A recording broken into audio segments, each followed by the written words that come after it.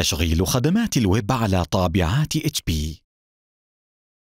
يتيح تشغيل خدمات الويب لطابعتك الاتصال بأمان عبر الإنترنت بخدمات الطباعة المتصلة بالويب مثل HP Print Anywhere والطباعة السحابية HP ePrint وخدمات توصيل HP Instant Ink. تأكد من أن طابعتك متصلة بشبكة سلكية إيثرنت أو لا سلكية لديها اتصال إنترنت نشط.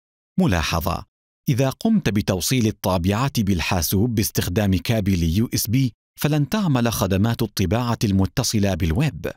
إذا كانت طابعتك متصلة باتصال سلكي إيثرنت، تحقق من الكابل ومن المصابيح على منفذ إيثرنت للطابعة.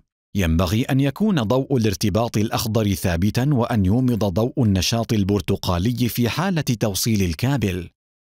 إذا كانت طابعتك متصلة عبر اتصال لاسلكي، تأكد من تشغيل ميزة الاتصال اللاسلكي ومن اتصال الطابعة بنفس الشبكة التي يتصل بها الحاسوب.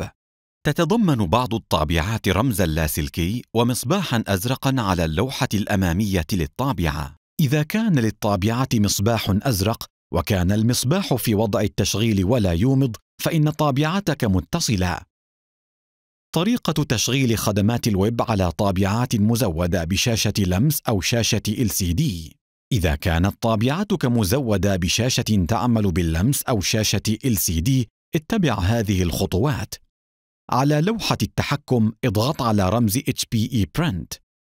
إذا كانت لوحة التحكم الخاصة بك لا تحتوي على رمز HPE Print انتقل إلى إعداد خدمات الويب أو إعداد الشبكة أو إعدادات الشبكة اللاسلكية لفتح قائمة خدمات الويب.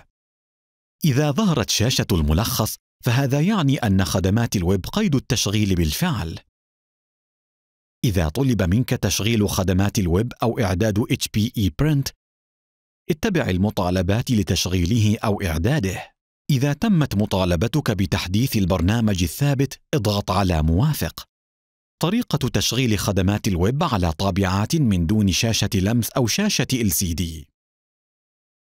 إذا كانت طابعتك غير مزودة بشاشة لمس أو شاشة LCD، استخدم الصفحة الرئيسية للطابعة المعروفة أيضا باسم خادم الويب المضمن أو EWS لتشغيل خدمات الويب. للوصول إلى خادم ويب المضمن لطابعتك، اطبع أولا صفحة تكوين الشبكة أو صفحة نتائج اختبار الشبكة اللاسلكية باستخدام مجموعات الأزرار على لوحة تحكم الطابعة. ملاحظة: قد تحتاج إلى الرجوع إلى مستندات الطابعة لمعرفة مجموعة الأزرار الصحيحة. للعديد من الطابعات إضغط على زر اللاسلكي وزر المعلومات في نفس الوقت أو اضغط على زري اللاسلكي وبدء النسخ بالأسود في نفس الوقت. لطابعات HP DiskJet 6000 و 6400 و NV 6000 و 6400 وتانجو المس زر المعلومات مع الاستمرار حتى تضيء جميع أزرار لوحة التحكم. ثم المس زر المعلومات وزر الاستئناف في نفس الوقت. ابحث عن عنوان IP الخاص بالطابعة على النموذج المطبوع. لفتح الصفحة الرئيسية لخادم الويب المضمن للطابعة. اكتب عنوان IP الخاص بالطابعة في سطر عنوان المتصفح ثم اضغط على إدخال.